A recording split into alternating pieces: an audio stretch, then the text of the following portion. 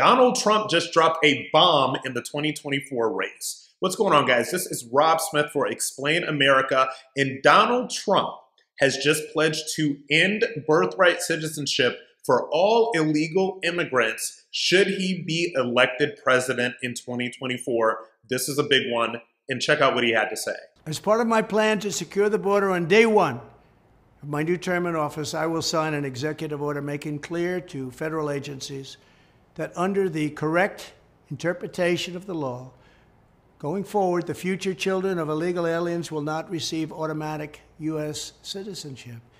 My policy will choke off a major incentive for continued illegal immigration, deter more migrants from coming, and encourage many of the aliens Joe Biden has unlawfully let into our country to go back to their home countries. They must go back. All right, just to put this in a context here, so this is a video that was rolled out, that was part of a video that was rolled out on Trump's Truth Social platform as a part of his Agenda 47 videos that the campaign has been rolling out uh, with all of their policy proposals on different things like uh, the, the border wall and, and all of that stuff. So this is huge, okay? And so I want to give you a little bit more of the text from this. So he basically says that Joe Biden has launched an illegal foreign invasion of our country, allowing a record number of illegal aliens to storm across our borders. This is what he says in the video. You have to understand that this is factually correct. Okay, over the past two and a half years of the Biden administration,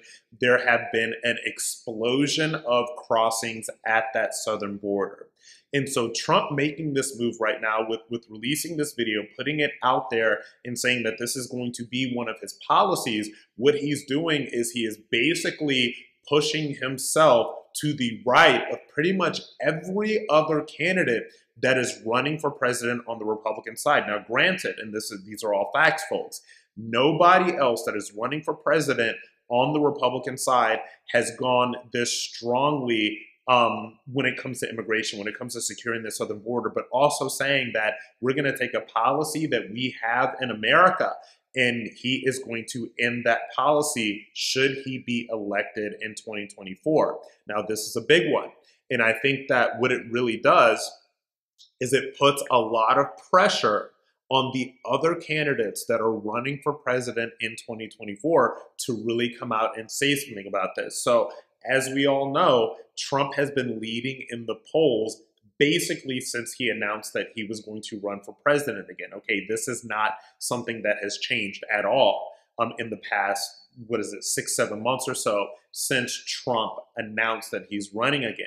So, what he is doing is he is placing himself in a position to where the rest of the people that are running for president on the Republican side are going to have to respond to what some people may call a hardline stance on the illegal immigration issue that we have in this country. So it's going to be very interesting to see how Nikki Haley responds. It's going to be very interesting to see how Ron DeSantis responds now that he is officially in the race. It is going to be interesting to see how Tim Scott responds. But now, again, Trump has been the front runner for this nomination since the moment he announced. And with this move, what he is doing is he is putting every other Republican that is running for president in 2024 on the defensive.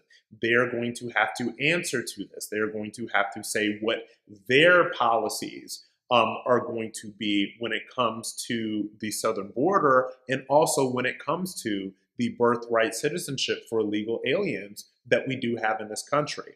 So it is going to be very interesting to see how the rest of these Republican candidates respond. Thank you guys so much for watching. Please like, share, and subscribe to all of our Explain America videos. I'm Rob Smith. I'll see you next time.